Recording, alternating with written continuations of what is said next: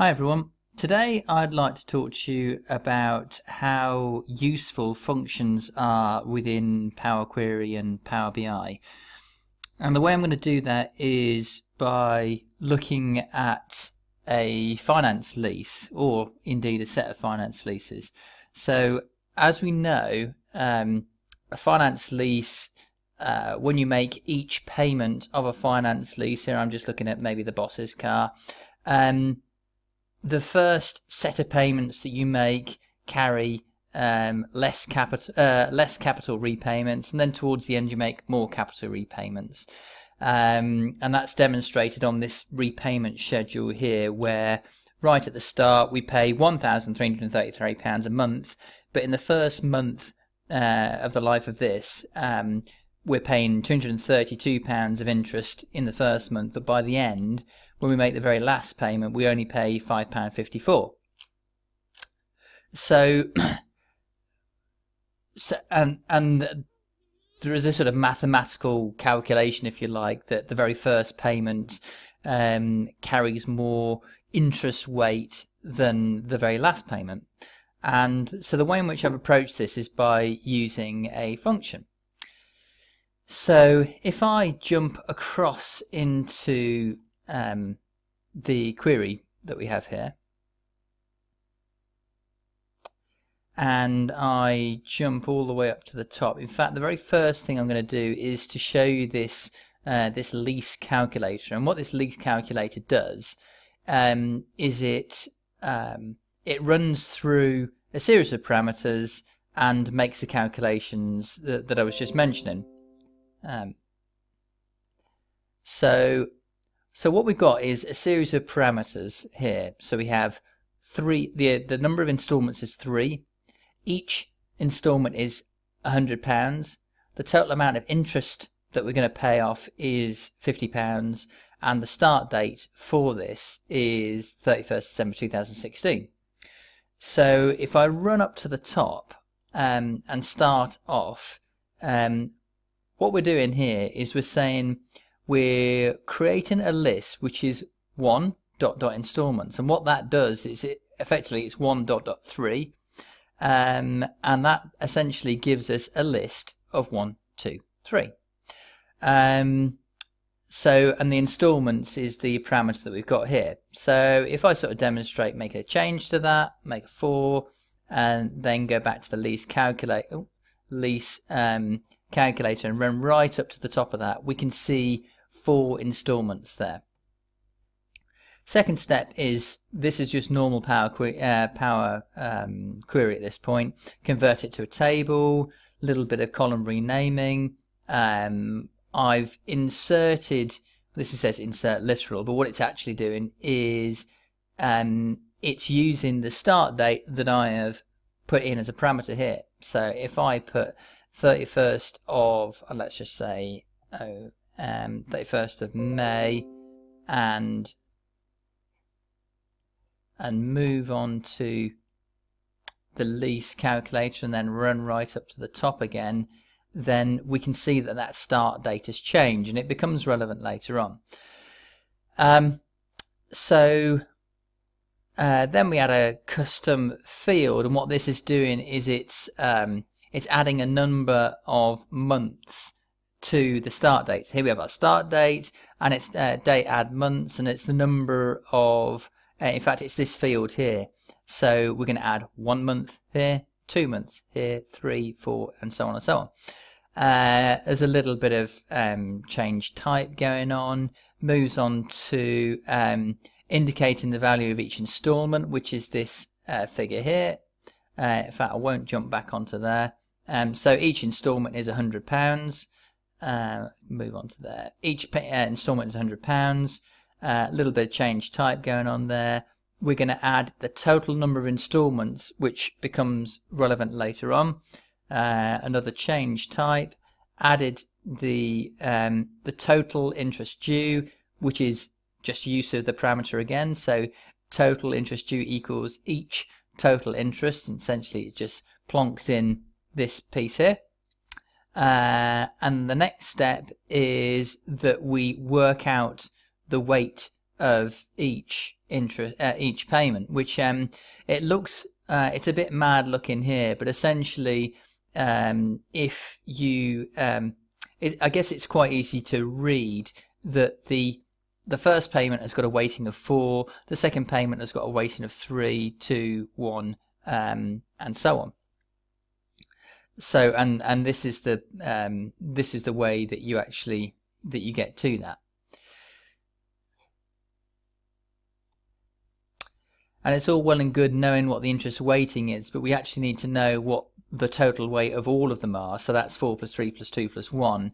And there is a formula that effectively does that. It's n times n plus 1 um, all divided by 2.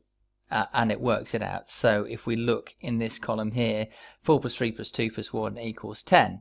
So that means that 40% will go in the first month, 30% in the uh, of the total interest in the um, second month, and so on. Uh, and then if we go on to the not sure why, yeah, cumulative interest rates. This is the total um, interest for this payment. So essentially, it's um, it is uh, what I just mentioned there. It's uh, uh, it's the total interest due times by the uh, interest weighting divided by the cumulative interest um, weight. So essentially, I think I said 40% there. Um, that's that's correct actually. It's um, so we are going to have out of the total interest of 50, um, 40%, which is 20, and so on and so on and so on.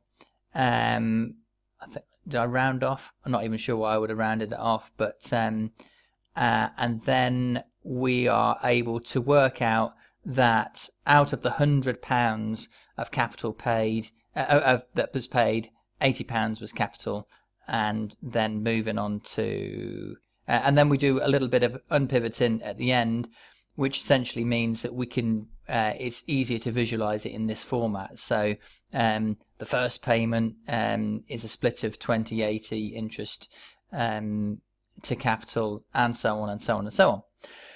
So what this is, is uh, it is a function. Um, and this demonstrates how that function works. Um, but and then we make use of that function um, when we make our um, calculations. So this is really just how is just a way of seeing if that if that if that works for you, and if you if you want to make changes to it, you're effectively changing the function. So what I'm going to do is show you how I've used the function. So if I move up to the top, um, what we can see here, these are my demonstration. Um, uh, these are these are my uh, parameters that I'm going to plug into this function. So we have a pool car um, that I've called it a pool car. Um, it's got 36 payments. It's got interest of 980 pounds, capital. And we've got a start date. So what's going to happen here is first of all we have a, a source, uh, and I quite like this way of um, making use of it for demo purposes because it means the PBIX file is completely self-sufficient. You don't need to link to anything. You just you just add the data in and, and on you go. Uh, and you do that by hitting its enter data um, here. That's that's how you create a query which um, starts off with um, with no data. I'll just pop one in there. Um, yeah, there you are. One, two, three, and if you press, it's going to be called table one down the button, test. Uh, if I go OK on that, we will create ourselves, probably under the other queries piece, um, a table called test. Fabulous. And that's how I started off with this. So I'm going to delete that. Um, so going back to the leases, so I started life with um, with this data, uh, a bit of renaming going on there, change type. Um, then there's an addition here, which is the uh, the total amount payable, um, and this is the excuse me this is each installment uh, yeah so it's just um, a division of um, the total due divided by the number of payments is the value for each installment and then we um, we invoke this function. So if I just show you here, what we've done is we've invoked a function and what we've done is we've pushed in um, various bits and pieces into that function. So In fact, if I just see if I can sort of demonstrate how that would be done on the fly. Um, so I'll do um, add column, invoke custom function, insert, function query, new column name, I'll call it custom uh, lease calcs. And essentially this is you pushing in um, your parameters into there. So um, installments, um, I think it's this, installment amount is a column name and it's each installment. Yeah, I've obviously got this wrong. So this I think is possibly the number of installments, um, uh, number of payments, okay. And then the total interest is a column name and where is it total interest there and the start date is column name and it's the well believe it or not it'll be the start date start date uh, and then okay so I'm, I'm going to delete this um, but that just shows you all you need to do to get to that point. And it, it is the only one of the few tricky pieces in here. I'm going to delete that. I'll wait for it to have a little think. So what you then do is you then hit the expand button here. And when you expand it it actually runs the entire function. So what we've got here is we've got our, you know our pool car. We expect to see 36 lines for the pool car. Um oh that's 36 lines um so yeah pool car pool car pool car pool car oh of course we're going to end up with 72 because um we have a line for the um, we have a line for the capital and a line for the interest uh, as a relief. And so we and and then similarly on the sales exec card uh, car we'd have um, 96 payments and so on and so on and so on. So what we've done is using that function we've um, been able to um, we've been able to do all these co fairly complex calculations um, and you know we've you know it's it's relatively straightforward to do it. Um, so what's this? Added custom one. Yeah, I've had I've put an evaluation point in there because what I wanted to do was to um, indicate the number of days, you know, the, the days difference between the whatever payment it was and where we are now. Um, that's my days difference because I I had an eye on um, yeah number of months difference because I was thinking about um, what it would be like to, as an accountant, to be, you know, looking at you know, the uh, disclosures side of things. So if I go to close and apply, um, it'll zap it all, or not as the case may be, as I've not changed anything. Uh, and if you move on to the data uh, tab, and we, I think we've got a not a wildly complex model, by any stretch of the imagination. So I think it's be a model of one table um, with all the columns that we've seen. Ah, years difference. In fact, what I did do was once I'd landed it, I had my months difference already, and you can always see that because you, there's no formula in there. But with the years difference, uh, you can see um, it, I just did a roundup function. So very simply, um, not quite sure what it did uh, on the on the negatives. Yeah, I've got negatives in there, so that's fine. Um, so, uh, and then from a visualization point of view, I've created a number of visualizations to split things out as the cost um, as the case may be. So this was me splitting it out. So I've got um, a visualization which probably has a filter on it. I would have thought. Um, yeah, where the attribute is capital uh, this is the same um, visualization where we're only looking at interest. And what it's actually doing is it is looking at um, uh, the year relative to the 31st of um, March 2017, um, where that payment sits. And so, in fact, it's um, it's actually in the second year that this um, that this um, starts life, and so that's why it's in in year two. Um, quite often, um, lease disclosures require you to express the payments in less than 12 months, two to five years, and five years plus. Uh, and similarly, they have to you have to do similar things on um, interest payable and so on. And of course, all of this is you know you can hit the filters and you know it'll do all the whizzy stuff um, in that way. We're only looking at the boss's car at the moment. We could be looking at all the cars. Fantastic. Um, and if we move on to the table itself, we just click any of the fields, we can see we've got 372 rows.